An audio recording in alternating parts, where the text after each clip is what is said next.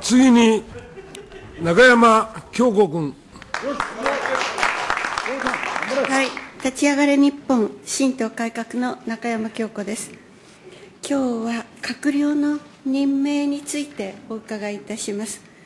閣僚という行政の中枢のポストに就くにあたっては、政治資金の使途についてやましいことがないというだけではなく、その職を担うにふさわしい資質が必要です。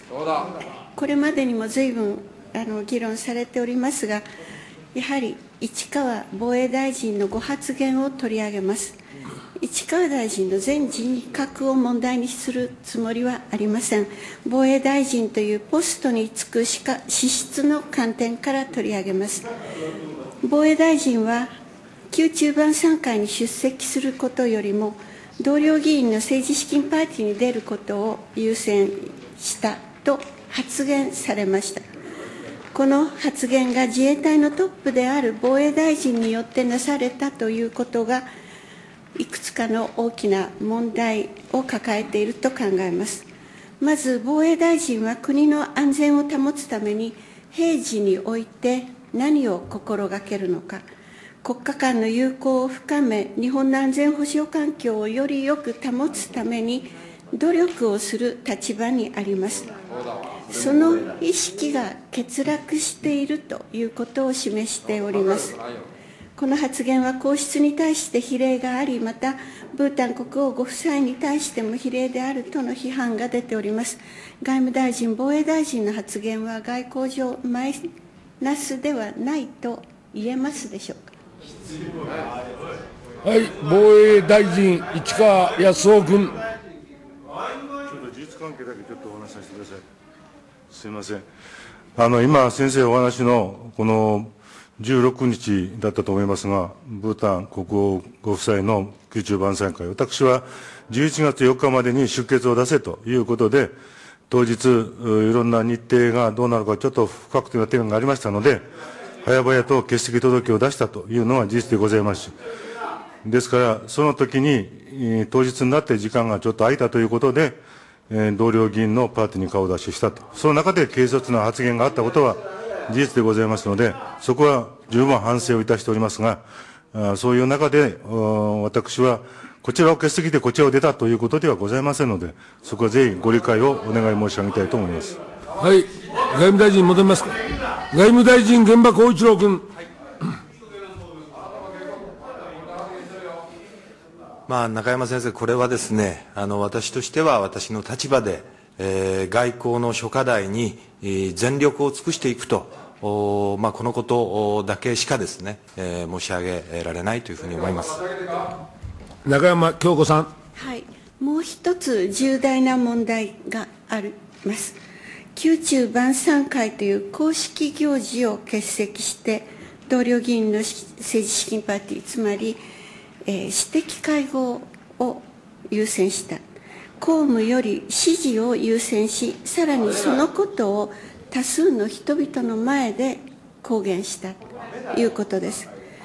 今年3月11日の東日本大震災に際して、被災地にある自衛隊の部隊の隊員たちは、家族が亡くなり、あるいは行方不明になっているにもかかわらず、防衛大臣の命を受けて被災地の救援に向かいました。公務のために、そうですね、多くの国家公務員が、または地方公務員が公務をのために指示を捨てております。被災地の方々からは今でも自衛隊員に対する感謝の言葉が語られています。それは指示を捨てて公務に邁進した姿への感謝の表れでございます。自衛隊員のトップに立つ市川防衛大臣は公開の場で公務より指示が大事だと公言なさいました。防衛大臣、あなたの発言を耳にした自衛隊員がどういう気持ちにあるかお考えになったことがありますでしょうか。井川防衛大臣。まあ、あの先ほどちょっとご説明しましたように、えー、その同僚の議員の会合に出ての発言は、えー、非常に軽率であったということでは深く反省いたしておりますし、その後、おブータンの総領事館なりにお邪魔をして、えーその気持ちを十分伝えさせていただきました。えー先生おっしゃるように、これが自衛隊の士気に影響するんではないかというようなご趣旨でございますが、私は、えー確かにそのことは反省いたしておりますけれども、自衛官が、自衛隊が、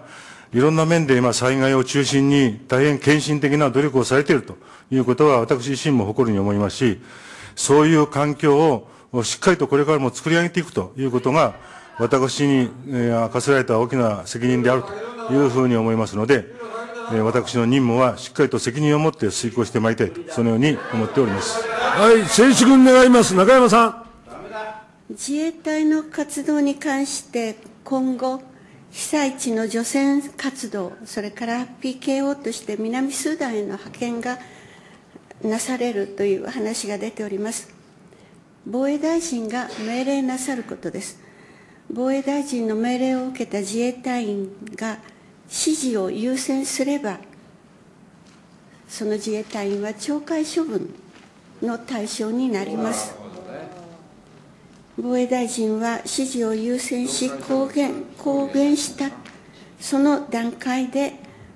防衛大臣を辞任するべきだったと思います。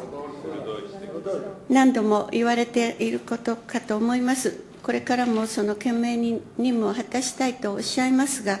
責任がある場合にその責任が取れないときには責任を取らなければいけない。責任があるだけではなくて責任を取るということが日本の考え方の大きな部分だと思っております。そういった意味で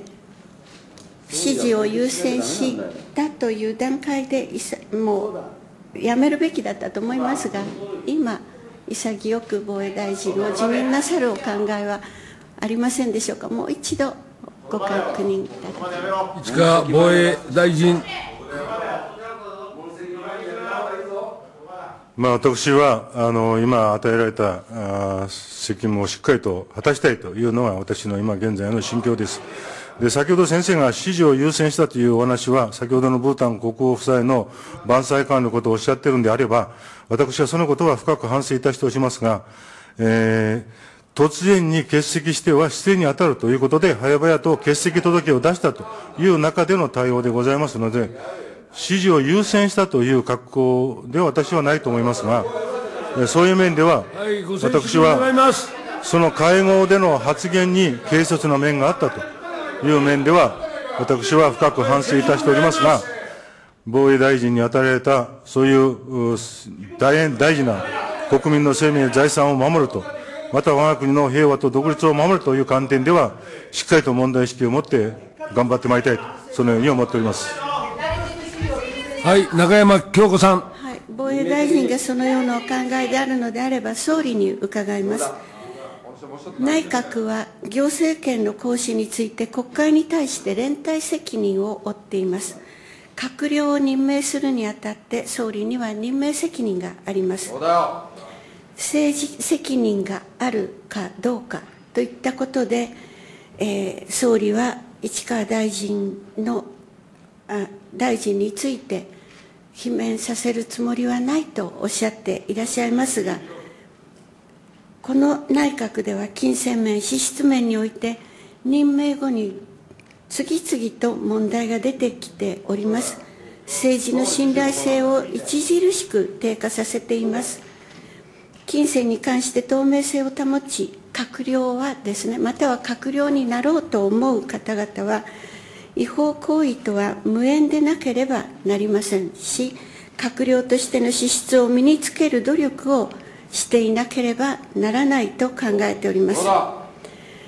そして、その任命する総理は、その方の身辺について、閣僚にふさわしいかどうかを見極めることが要求されます自。分自身が黒い人と付き合ってるんだよ、この人は。ご自身の閣僚についてその適任でなかったとの見極める力がなかったと言われてもしょうがないかもしれません総理その点についてごお考えをお願いいたします野田内閣総理大臣。あのアメリカのようにあの FBA とかああのいわゆるいろんな当局を使ってということではありませんけれども、やっぱり人事を行う際には、